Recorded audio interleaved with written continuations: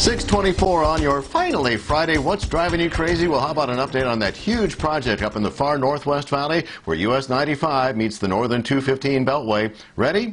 Let's go Centennial Bowling.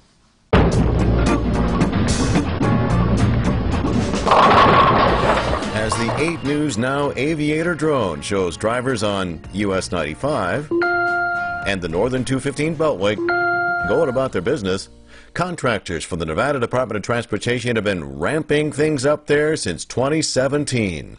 NDOT's Tony Illia says when it's all done in 2024, It'll consist of 18 bridges over three decks, making it the biggest, most complicated interchange in the state. Tony and associate engineer Brian Bodigheimer took me on a tour of what's going to be the second longest bridge in the state, the ramp from northbound 95 to the westbound 215. With all the residential and commercial development in the area, NDOT knew there's a need. The traffic counts for these ramps are at over 100,000 a day, and that's only expected to grow. With the concrete and the rebar overlooking the traffic below, I don't want to leave you hanging about the work.